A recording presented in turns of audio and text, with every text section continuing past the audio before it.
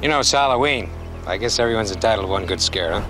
In this video, we're going to look at the basic elements that go into an effective jump scare.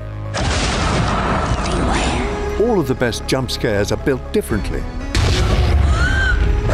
But there are tried and true techniques guaranteed to raise the terror factor.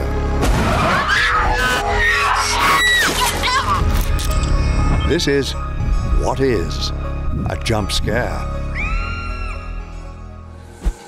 There are two main types of jump scares shock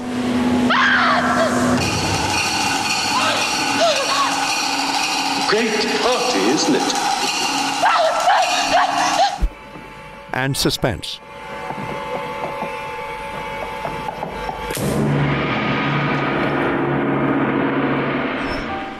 Shock is created by a sudden and unexpected event. Slow ahead. I can go slow ahead. Come on down and chump some of this.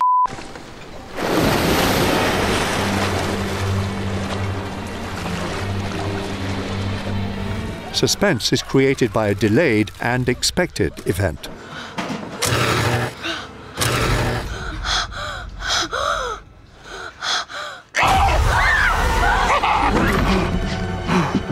God damn it! So, what makes the best jump scares work while others fall flat? A jump scare is all about timing.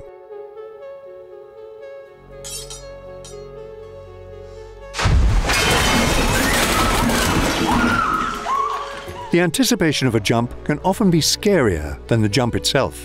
Anybody here? A great way to play with this kind of timing is with long takes. Hello? This moment from The Shining culminates with a single tracking shot lasting over a minute.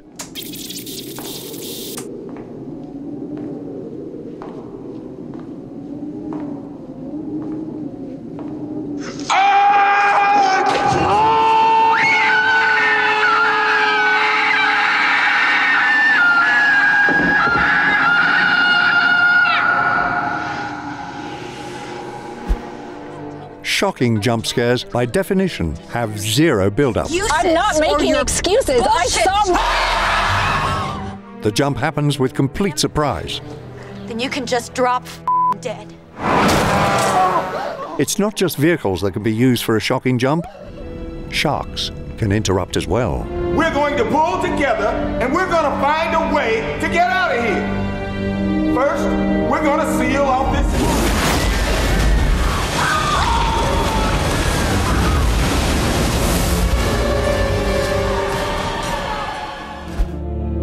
Withholding information from the audience is another essential element. This is all about what we can see or hear and what we can't. The most obvious technique is to obscure the scene which create perfect hiding places for our biggest fear.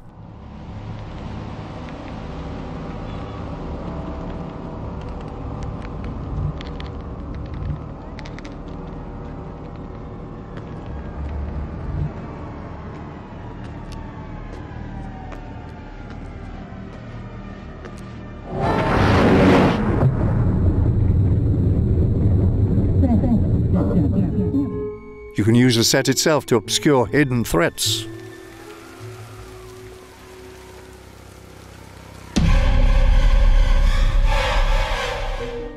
Some filmmakers opt for wide shots to keep us guessing. Instead of a limited POV, we can see the entire room, but we still aren't safe. We're left guessing which door or which shadow contains the threat.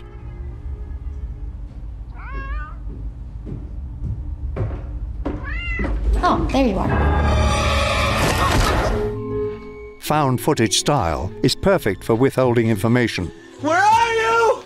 The view is almost always limited, making it even more difficult to see into the shadows.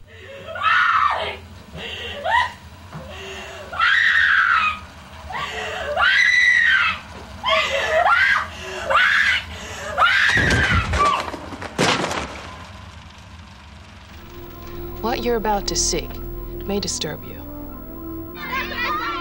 We're also usually only given one perspective through the lens of a single shaky camera. Move, children! Vámonos!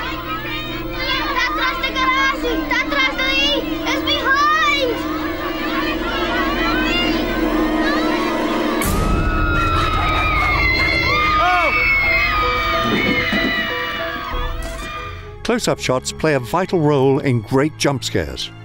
By keeping the frame tight on the subject, we can't see the rest of the room, and that's when a small camera movement can be used for a big reveal.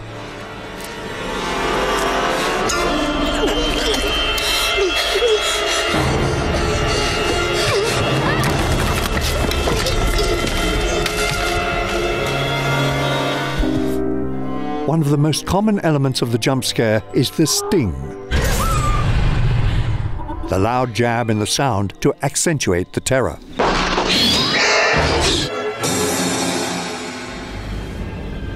Most of the time, the sting is a loud shriek or hit that makes us leap out of our skin. A quiet build up contrasts perfectly with the loud sting. This makes the audience lean in with our focus fully applied.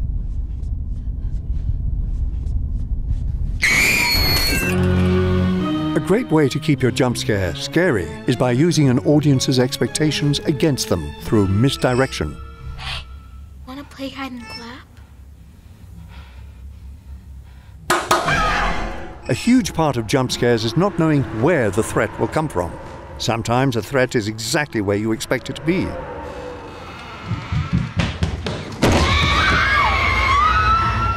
But good jump scares are built with the unexpected like when you're so focused on what's in front of you.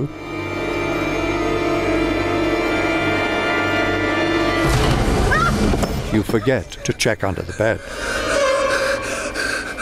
Another common way to misdirect is with a fake out. This is when an initial jump is merely a false alarm and is immediately followed by the real shock. Don't open the door. See? Everything's okay. In Insidious, we expect the jump to happen here, not the present day scene. I can still hear that voice.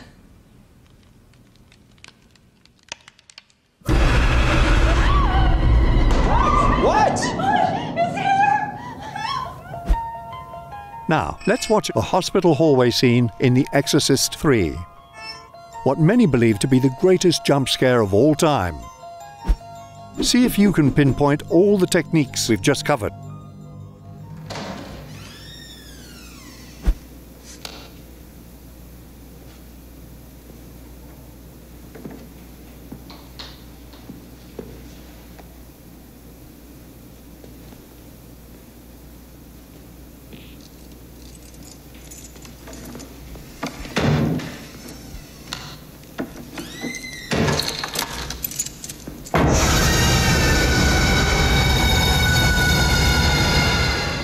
Here are the answers. How many did you get right?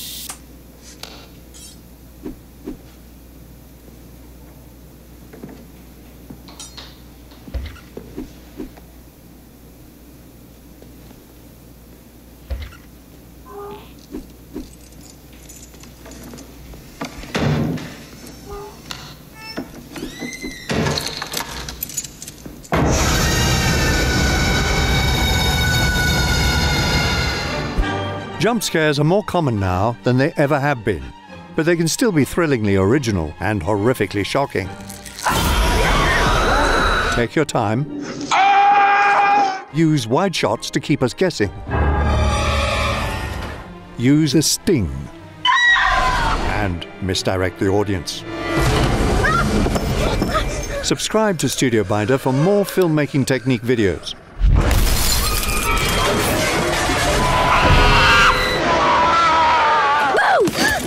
We'll see you in the next one, assuming we both survive.